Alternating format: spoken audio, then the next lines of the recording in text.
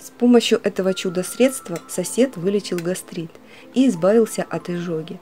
Теперь он его пьет в качестве профилактики. Он рассказал мне про этот рецепт, а я делюсь с вами. Но сразу скажу, лечил он гастрит целый год, курсами по 10 дней. Пил он натощак по одному стакану. 2 столовые ложки овсяных хлопьев самого мелкого помола.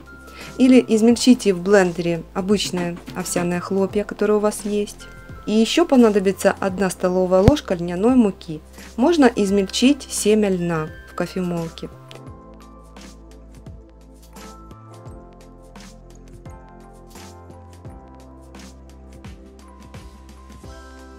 Заливаю стаканом воды, объем стакана 250 мл, перемешиваю и добавляю еще стакан воды.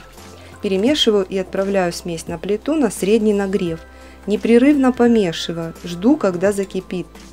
Смесь начнет густеть и превращаться в кисель. Пенку снимать не нужно. И как только смесь окончательно закипит по всей поверхности, снимаю кастрюлю с плиты.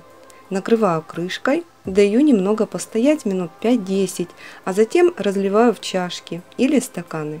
Получается 3 порции.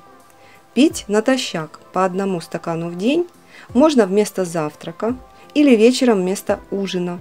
После последнего приема пищи должно пройти не менее 3-4 часов. Возможно, для кого-то этот способ окажется полезным, а кто уже пользуется таким кисельком, пишите об этом в комментариях. Всем спасибо за просмотр и до новых встреч на канале.